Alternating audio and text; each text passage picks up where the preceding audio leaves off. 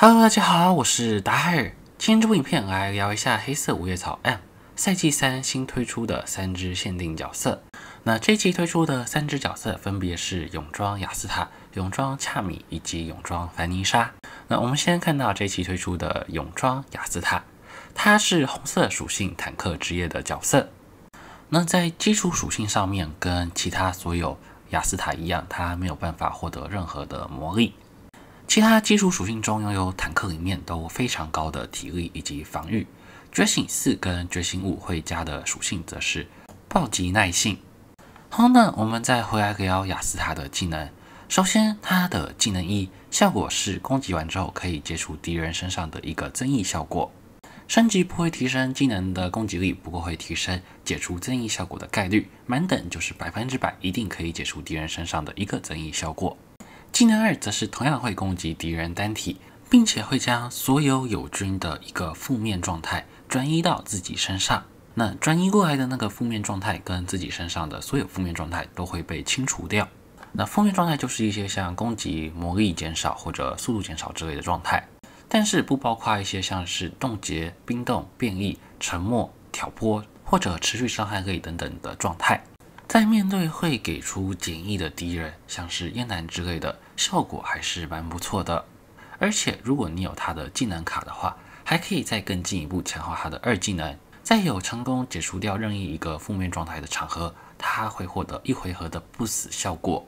被动效果也可以让他或者所有坦克每解除一个负面状态的时候，就恢复最大生命上限的百分之五。强化的二技能或者被动效果对雅斯塔的帮助都非常巨大，不过前提当然就是你打的对手要能够给你上简易状态。最后是雅斯塔的必杀技效果，它会攻击敌方单体敌人，并且对敌方单体敌人有很高的几率造成嘲讽的效果，对其他所有敌人则是有几率可以造成嘲讽的效果。提升技能等级之后，对敌方单体就是百分之百的嘲讽效果。对其他所有敌人，则是最高有百分之三十四的嘲讽效果。再来，它的协力技能效果同样会攻击敌方单体，并且会对敌方单体有非常高的几率造成晕眩的效果。技能等级五的时候，有百分之七十五的几率会晕眩敌方单体，应该是游戏里面目前几率最高的一个晕眩效果了。可惜的是，就是只能晕眩敌方单体啦。再来，L.R. 被动的效果可以在战斗开始的时候，第一回合免疫所有状态异常的效果。状态异常就是一些让我们无法行动的效果，像是晕眩、冻结、变异。那这个被动跟钻石的 L.R. 被动有一点像，不过钻石的是让我们全体角色免疫负面状态。那可以想见，有这个被动效果之后，应该可以让雅斯塔在竞技场有一点出场率。之后再防像是利尔的大招，或者前面说到的钻石的连吸技能，都会有不错的效果。再来，他觉醒到 L R 二之后的效果，则是没有一个敌人受到嘲讽状态，他受到的伤害量就会减少百分之三。虽然如果能够群体嘲讽减百分之十二的伤害是还蛮多的，不过雅斯塔主要也就大招才有嘲讽的功能，而且只能嘲讽一回合，所以我觉得会不如一些其他角色朴实无华的减伤效果。毕竟大招要比较久才可以开一次嘛。好，那下一支来聊泳装凡妮莎，她是这次所有角色里面卡面最香的一个角色。可能也是因为如此，她的一技能在攻击完敌方单体之后，会对敌人造成出血的效果。被这么香的角色打到流一点鼻血是正常的嘛？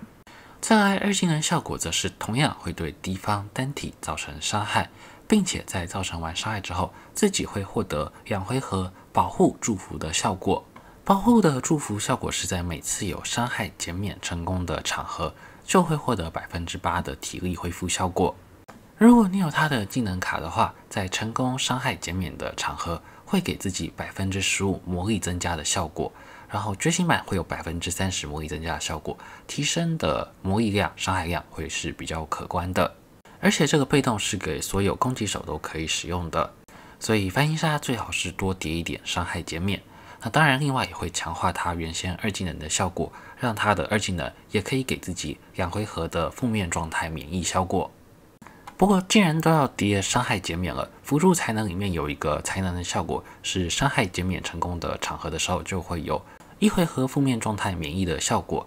所以技能卡对二技能本身的强化是比较一般的。但被动给其他魔力或者伤害减免叠比较高的攻击手去使用，可能效果也会不错。接着是它终结技的效果，它会攻击敌方全体，并且会有百分之五十的几率对敌方全体都造成技能二沉默的效果。同样比较可惜的是，它只有沉默掉技能二，没有沉默掉大招，所以敌人如果 SP 够的话，还是可以放大招的。而且另外还有两个小缺点。一个就是它这个不是百分之百几率沉默，第二个就是它的基础速度只有一百零三，不见得能够先出手沉默到敌人。再来是它的协力技能效果，在敌人身上有负面简易状态的时候，它会在自己提升伤害之后对敌人单体进行攻击。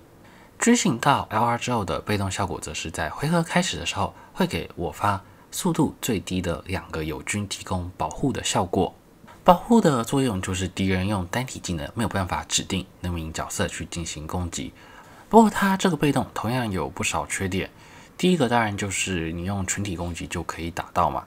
第二个则是它是给两名速度最低的友方提供保护效果，但速度最低的角色通常不是坦克就是奶妈，他们通常也比较硬一点，所以这个保护的效果可能就得搭配好队友或者在实战中调好速度才会比较有效果。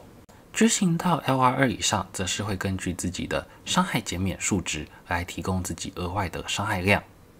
凡妮莎基础数值中伤害减免本来就比较高，每层的觉醒也都会额外提供伤害减免的效果。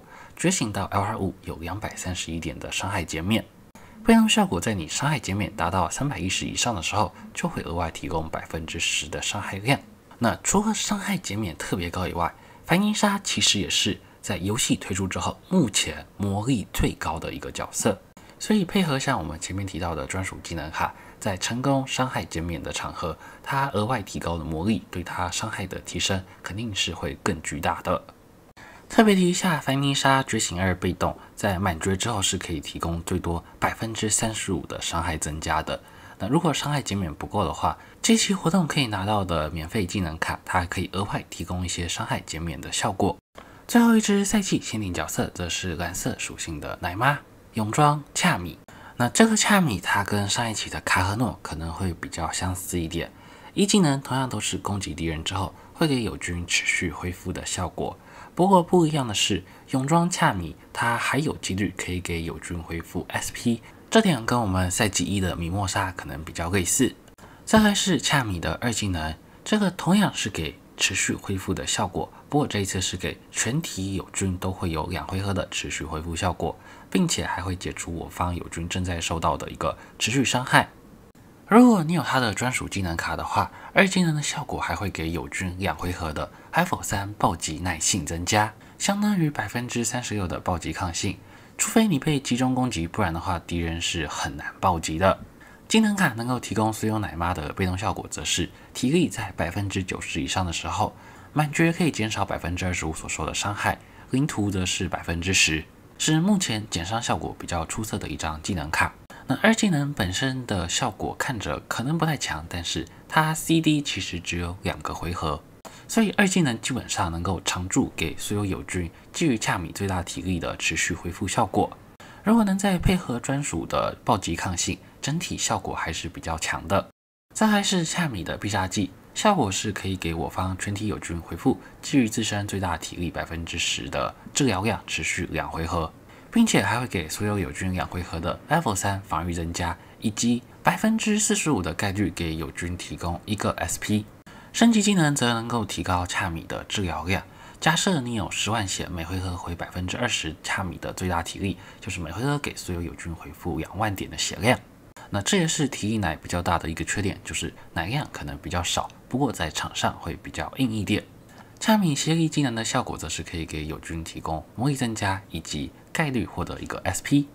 最后是恰米被动技能的效果。首先觉醒到 LR 之后，可以朴实无华的提供更多的体力，获得百分之十体力增加。觉醒到 LR 二则是能够在友军回合结束的时候，就直接给友军提供最大体力百分之三的恢复效果。基础数值方面，恰米拥有奶妈里面特别高的体力、防御以及比较快的速度。但相对的，它的攻击跟魔力的数值跟其他奶妈对比，可能就比较低一点。觉醒四、觉醒五则是可以额外提供恰米一些伤害减免的效果。好啊，那这一期的三只赛季角色我们就都简单聊完了。有没有哪一只角色是你觉得强度可能会比较高的，或者你觉得这一期的强度可能都比较普通？三只角色里面，我自己啊，就是如果后面有会需要坦克的场合，我会觉得雅斯塔可能会比较好用。不过一大缺点就是它不能跟赛季一的红色雅斯塔同时上场嘛。那个赛季一的雅斯塔真的蛮强的。但我自己最想要的角色的话，可能就还得是看卡面了。范妮莎真的是这一次几只角色里面最香的角色了。至于实战表现的话，我会认为如果你能够把范妮莎觉醒物，它的强度肯定会比较高的。怎么？我感觉绿色的攻击手好像觉醒高了之后都会比较强，像之前的利希特或者莱亚。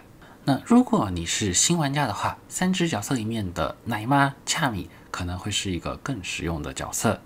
前期各种魔攻或者高难关卡，有一个奶妈真的可以比较好帮助你通关。恰米除了做奶妈以外，也能够持续提供一些伤害减免跟 SP 恢复的效果。但这一次赛季三的角色，目前看来，我并不觉得会有赛季二的诺埃尔或赛季一的亚斯塔的强度那么亮眼。不过毕竟还是限定角色，难保不会未来的某个场合你刚好会需要那个限定角色，但你当时没有抽到。所以我还是会建议你可以考虑去抽这一期的限定池，然后再靠自选选择你没有抽到的角色。至于常驻角色，大部分其实靠限定池去歪就很容易歪到。当然，我也不确定后面几期推出的魔法地它实际强度会如何。想要的话，你可能也可以等等看看卡池推出期间会不会有魔法地的卡池。那总之，这部影片就先聊到这边，希望这部影片有帮助到你。看完喜欢的话，千万不要忘记点赞订阅我。我们下部影片见，大家拜拜。